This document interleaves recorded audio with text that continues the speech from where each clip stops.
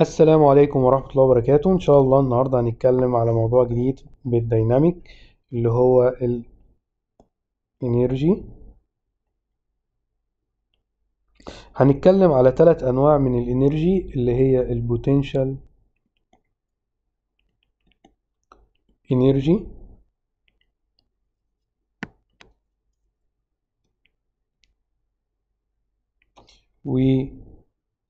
وال elastic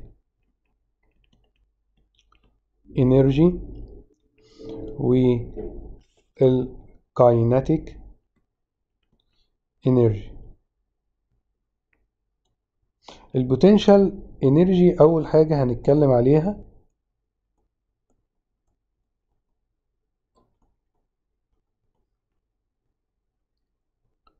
وهي بالعربي اسمها طاقة الوضع.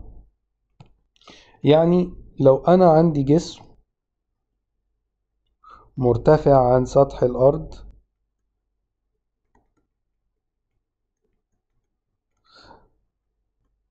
بقيمة H.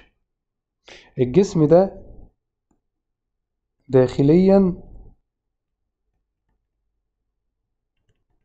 بيخزن طاقة وضع قيمتها Vg وأكيد بال sense كده Vg دي هتبقى factor في إيه؟ في عجلة الجاذبية اللي هي جي و factor في إيه تاني؟ factor في الاتش اللي هو الارتفاع. و factor في إيه تاني؟ في ال mass كتلته. يعني ال potential energy اللي هي طاقة الوضع factor في الام والجي والاتش ده أول نوع. في طاقة الوضع. طبعا الكلام ده موجود هنا في ال reference handbook ال kinetic energy اهي وال potential energy وفي ال elastic energy هنتكلم عليها موجودة هنا.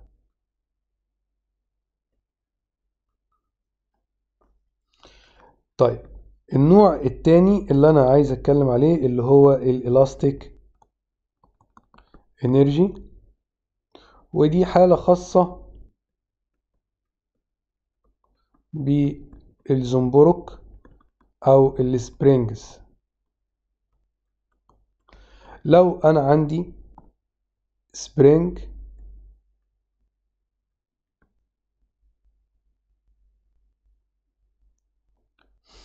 ال spring دوت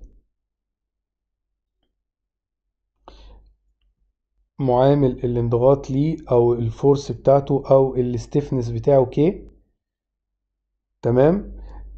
جيت ضغطت ال spring ده لهنا.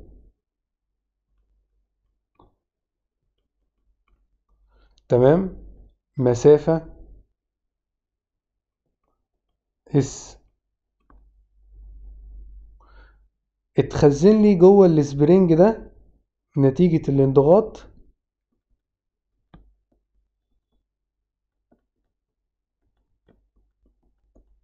اتخزن بداخل الزنبرك طاقة اسمها إيه؟ اسمها الإلاستيك إنرجي. الطاقة دي بنرمز لها مثلا بالرمز Fs أو F spring وبتساوي آسف الطاقة دي بنرمز لها بالرمز Ve وبتساوي نص k s تربيع. أكيد برضو factor في ال stiffness بتاعت ال spring و factor في المسافة اللي تم انضغاطها. تمام؟ تمام. ال change in potential energy ودي تعتبر برضو نوع من أنواع طاقة الوضع. لأن أصبح في وضع جديد لل spring هنا وده الوضع ال original التغير بقى في طاقة الوضع لو إحنا كنا قلنا هنا آه لو زودنا بس على ال spring ده spring تاني زودناه انضغاط للخارج. مسافة s كده للخارج. وقلنا إن المسافة دي s واحد ودي s اتنين. يعني هنا في طاقة وضع مثلا V اتنين وهنا في طاقة وضع V واحد. هنا طاقة الوضع V اتنين نتيجة إن إحنا شدينا ال spring للخارج وهنا طاقة الوضع V واحد نتيجة إن إحنا ضغطنا ال spring للداخل. التغير في ال potential energy ما بين V اتنين ناقص V واحد بيساوي ال k على الاتنين s اتنين تربيع ناقص s واحد تربيع. تمام؟ تمام. هنتكلم على النوع الثالث من صور الطاقة هنا في الموضوع دوت اللي هو ال kinetic energy وبنرمز لها بالرمز T وهي موجودة هنا في الريفرنس هاندبوك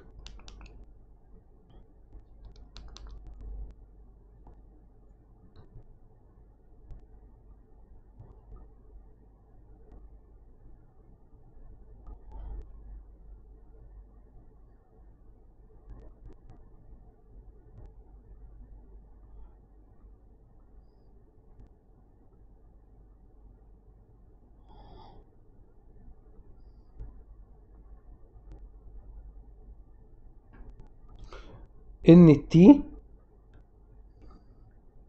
بتساوي نص m v تربيع. kinetic energy معناها إيه؟ معناها إن أي جسم متحرك به طاقة مخزنة. يعني طالما الجسم اتحرك من مكانه أصبح بيخزن طاقة داخلية جواه وقيمتها إن نص m v تربيع. يعني factor في الكتلة و factor في السرعة بتاعة الجسم. ده لو كان particle أو جسيم أو جسم يعني. أما لو كان rigid body فالقانون بتاع ال kinetic energy هيساوي نص m v تربيع زائد نص اي سي اوميجا تربيع. يعني إيه الكلام ده؟ يعني سرعته. plus سرعة ال rigid body system بتاعه بالكامل. كام؟